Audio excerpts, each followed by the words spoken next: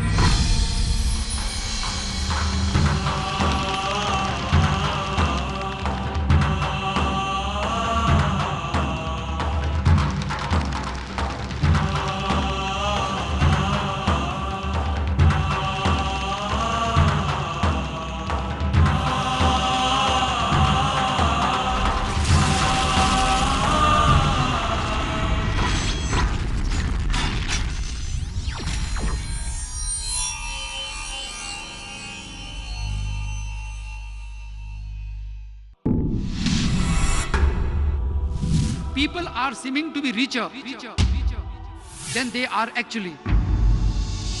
The luxury watches, the branded shoes, the branded dresses, the branded watches, everything is getting luxury. And many of them, they are not willing to pay the money because they don't have money. So now what happens? This economic system, conventional economic system, throws an impact in our personal lives. And we have depression, we have stress, we have divorces, we have suicides because of interest-based economy and extravagance. These two things are main reason. Are main reason.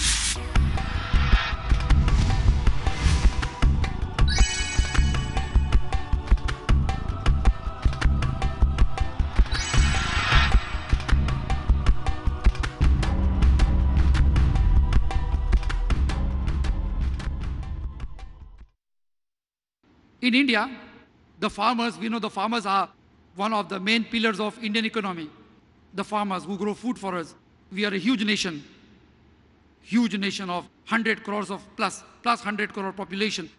And these farmers are our pillars of our economy. But on an average, there are no less than 700 farmers committing suicides. You know the simple reason? Because they are unable to repay a small loan of 10 to 15,000 rupees. That's all. Somebody has borrowed from a private lender 10, 15,000 rupees to repair his tractor or water pump or get his daughter married. 15,000 rupees loan is that they have taken. And I'm sure most of the audience that are watching me, they may be having mobiles worth that amount. And this poor man, he provides us food. He works hard that we eat food. And this man has paid 10 times the capital as interest. 10 times he has paid the capital as interest. 10 times. And still, he still not paid the capital and continues paying interest. So we have a figure of around 700 people committing suicides every year in Maharashtra alone. 700 people. On an average, in India, 324 people commit suicide every day. And a majority of them because of financial reason. Somebody kills herself due to dowry, then someone because of debts, someone because of being default and being bankrupt. Various financial reason people are committing suicide because of this interest-based economy. Many people are committing suicide. Same thing is in Japan. Japan, as compared to India, is less populated. But every year, 35,000 people on an average, they kill themselves because of pressure in financial dealings. They kill themselves. 35,000 people in Japan. This economy is headed towards a disastrous result. We are reaching a dead end very soon. Now let's see the other impacts of this global economy and this recession and this conventional economic system, whatever they call it. James Cook in the Forbes magazine, 1978, the February issue of Forbes magazine, on page number 81 to 82, 10 pages, he declared that this economy is an X-rated economy.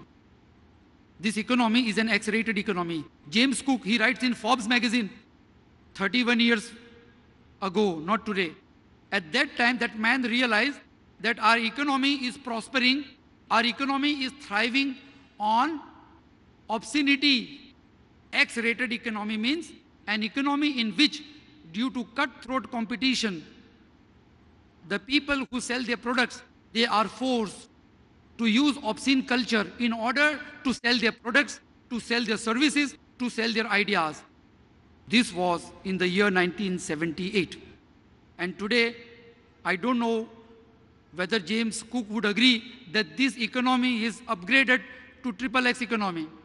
If he were alive, he would have surely agreed because according to latest statistics, the porn culture, the porn culture is no less than $35 billion business in the world. It's a huge industry, the porn culture. It's a tremendous industry, it's a huge industry. And people are getting into it. Now, sex is served in the form of sex education, in the form of entertainment, in the form of literature. Sex is served like a dish. And this is what James Cook meant to say in the year 1978 that this economy is an X-rated economy. It thrives upon it. You see, the sports, now they have cheerleaders, those who are watching cricket since many years. They would have realized that there were no cheerleaders, the girls wearing short skirts and tight t-shirts, and they are cheering the teams, the playing teams. So we asked them, why do you require these cheerleaders? So they say they cheer up the players. So up comes another question. A smart man had posted a question in one of the forums of NDTV. He said, we have 35,000 people in the stadium cheering the cricket team and these girls, they don't know the rules, but because they are scantily dressed, obscenely dressed, so they are taken as cheerleaders. So see, this is where the economy is heading towards, obscenity. See, Maria Sharapova, the famous tennis player, Maria Sharapova, she won two Grand Slams by 2006. And against her, Roger Federer, he won no less than nine Grand Slams till then. But Maria Sharapova earned three times more than Roger Federer in fashions, in modeling. She was a brand ambassador for Land Rover cars, for Motorola company, for Nike shoes and on and on and on. Because she was beautiful. Because she had that Um oomph factor in her. That's what the journalists and the media say. They cannot afford a middle-aged woman to even read out the news to the audience on television. They want young girls. Everything is being dependent upon young girls, obscenely dressed, obscenely speaking. We have the industrialists, we have the film stars, we have the other celebrities appearing on the chat shows of various television programs, and they are talking about their personal bedroom lives. They are celebrating their affairs, multiple affairs, as if they have won some trophies, and millions of people are watching it. Children are watching it, families are watching, the people sit together and they watch these type of programs, they see these type of discussions. No wonder the society grows more obscene. And the reason is conventional economic system where obscenity is required in cutthroat competition and the general media is in competition with the pornographic world. So they have to maintain that stamina or they have to maintain that speed in reaching out the audience. So they keep on adding more and more obscenity to their products. This is what's happening. There is no accountability. Nobody questions as to why these things are happening. Nobody realizes it. Everybody is chasing the glitter, which is not actually gold. It is glitter, only glitter. We are having strange types of industries which we could not even imagine 30, 40 years ago. One such industry comes in my mind, business based on fear. Paul Harris is a journalist. He writes in the magazine Observer, published from England. He says that I went to interview a farmer, the Amish farmer. Amish are the conservative Americans who grow beard like us and they are not living a hi-fi life. They are simple people, farmers. So I went to interview this farmer whose farm was around 30 acres and was, it had a potential threat or it was a potential target of Islamic terrorism. How can a farm be a potential target? So Paul says, when I interviewed this man, he said, I am also surprised. How did my farmhouse or my farm got enlisted. The reason is because I'm a rich man. There is an industry coming up. Please buy these gadgets from us, security gadgets, these security cameras, this and that. And we Americans are buying. The person is driving a car. He has a little money now. He's worried about security. He's worried that some Islamic threat watching him from around the corner. People are terrorized by their own governments, by their own security agencies. The Americans are more terrorized by the governments rather than the Muslims or rather than Islam. Because there is a $130 billion security industry in America, according to Paul Harris, Observer newspaper. $130 billion of security industry. And John Ashcroft, one of the advisors of George Bush, he is one of the consultant of one of the security members. He's earning money through that now. He's a consultant. What consulting? He pulls out a list from computer, which are the rich companies, mm, L&T, Dhirubhai Ambani, Tata, Voltas, Godrej. Mm, now go to them and tell them your place is under observation. Terrorists can come and, you know, blast it off. So they are afraid. They frighten them and then they offer security services. So this is how the security industry is blooming. Before 11 September, there were only 39 private security agency registered with the FBI. Now, 39,000 security agency in America. The film stars are under the threat. The industrialists are under the threat. The restaurant owners are under the threat. Everybody is under the threat. Strange economies and strange industry is prospering because there is no accountability. There is no accountability.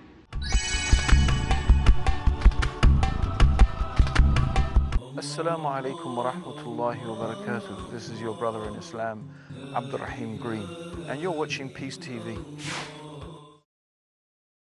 Who was the first prophet?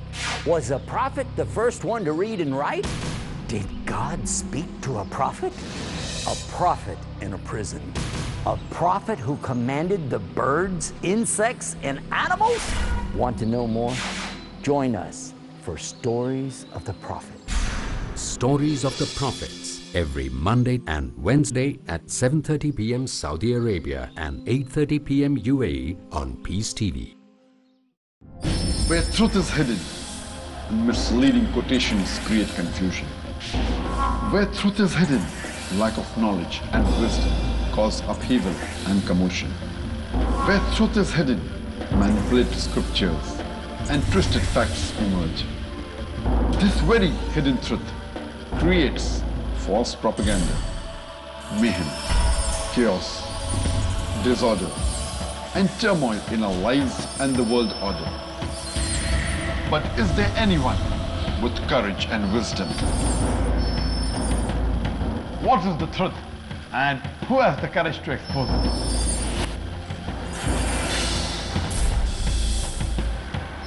Because it's your right to know the truth. Watch truth prevail and lies perish in Truth Exposed by Dr. Zakir Naik. Next on Peace TV.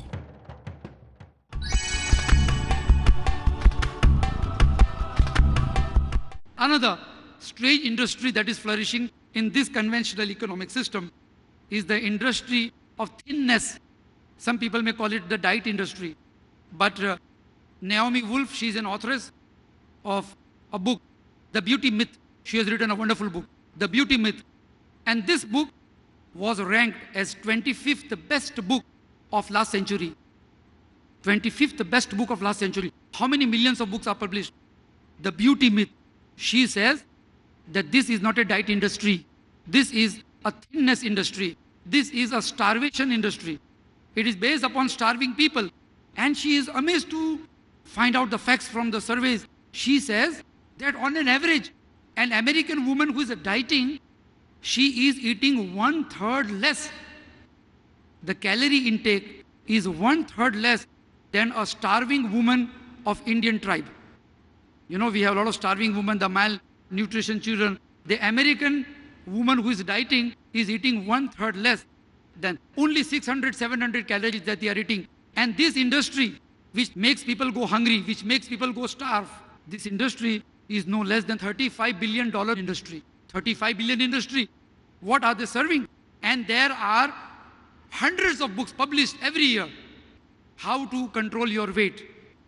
So one of the person commented in a newspaper article, he said, even if 10% of these books show result, then there are no needs for more books.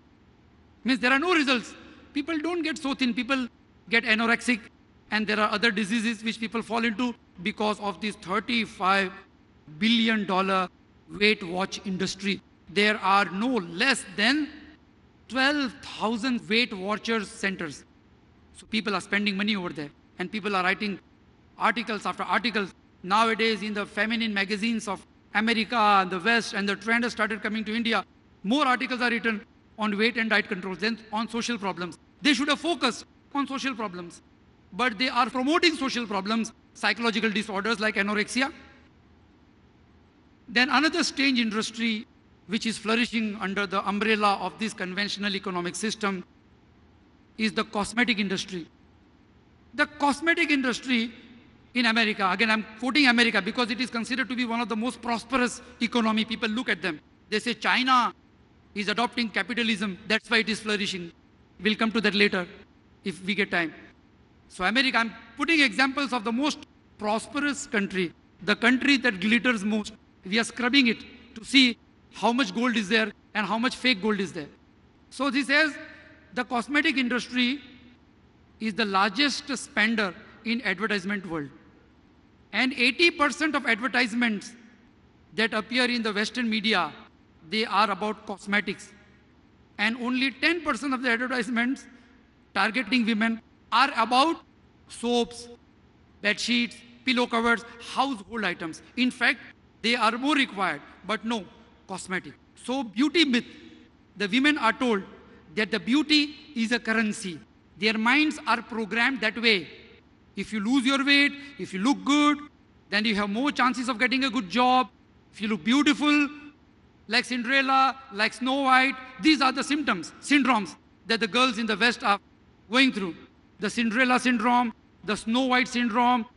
So girls want to look beautiful, they want to look slim, and they are willing to do anything for that. So beauty has become a currency in the Western world. Strange industry. Beauty is becoming a currency like a gold standard.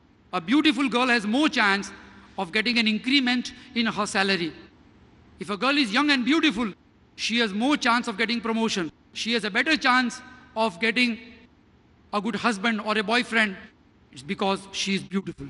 The beauty is becoming a currency. And because of that, the cosmetic industry flourishes. And they use strange terms to allure the females.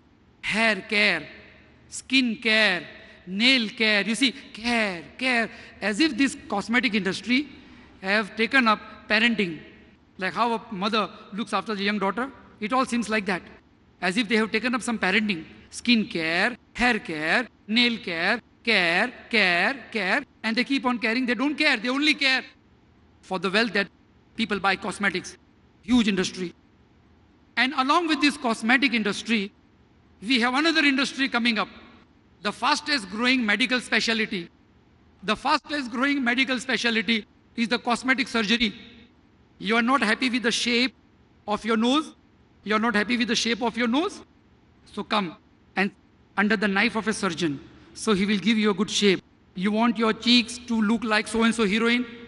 So come. So they get, you know, they are changing their faces and figures because they want to look good, they want to look young. People are afraid of getting old. The cosmetic surgery is one of the fastest growing medical specialties in the world. The trend has started in India as well. People are running after this glitter. Everybody wants to look good. Everybody wants to look richer than they are and the advertisers, the marketers, the people who produce these type of goods, the bankers, the financial institution runners, all these people, they know that the people are programmed that way. So now they are out to rob your money in a legal manner. People think that we lost money or people are losing money only in the stock market. It is not like that. If you see the credit card system, if you see the things that you buy to maintain the standard of your life. If you see all these things, you will realize, you will realize that the problem is not only restricted to the share market, but it has also invaded in all aspects of our life. We are being robbed everywhere. You go to the malls for window shopping, but you come back with things which you don't wanted to buy, which you don't require. You have a house, single bedroom, all kitchen, and your brother stays or your neighbor has a two bedroom, all kitchen. So your wife says we should also have one more bedroom extra. Of the children are growing up. So you are stressed. So you have to buy, so you take a loan. People are being allured. People are being offered dream houses and on and on and on.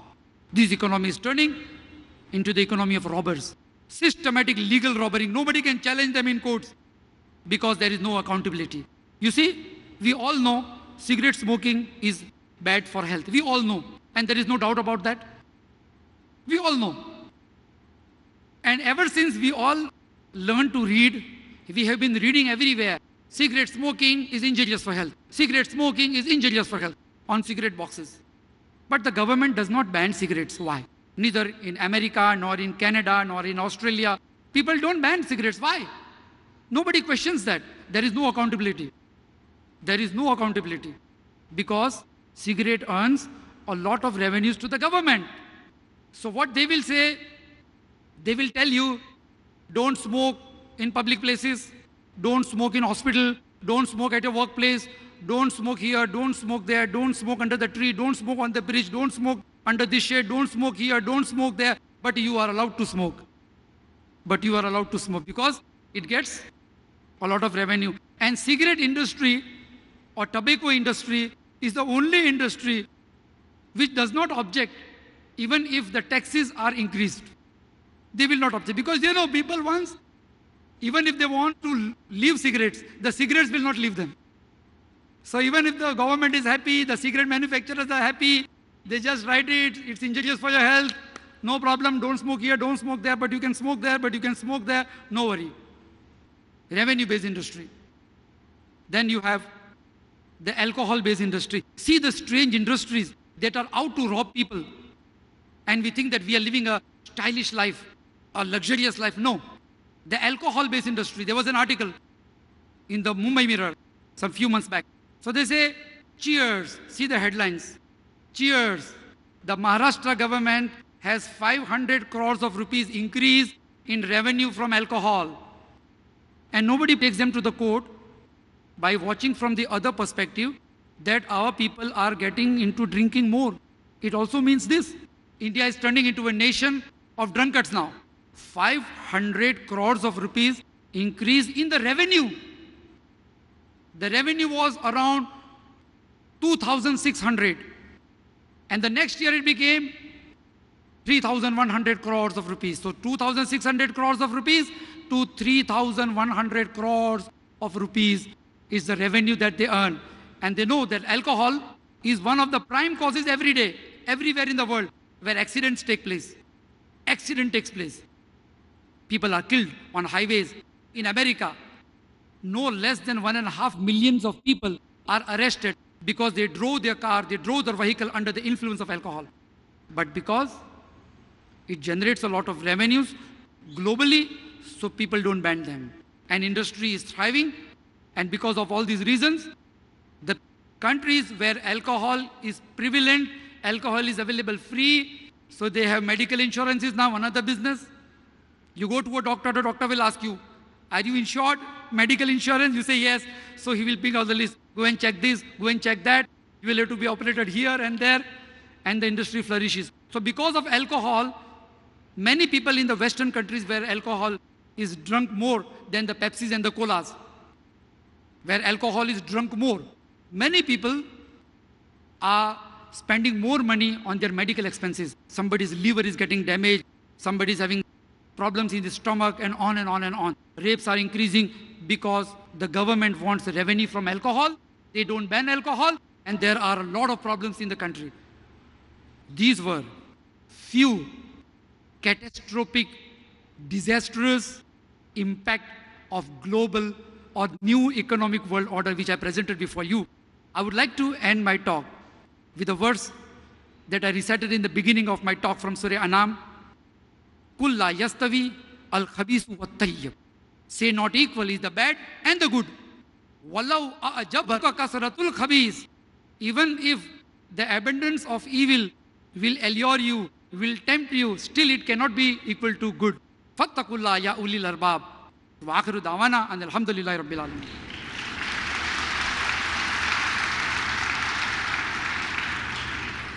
Jazakallahu khaira, Brother Nisar, for a very informative as well as a very insightful talk.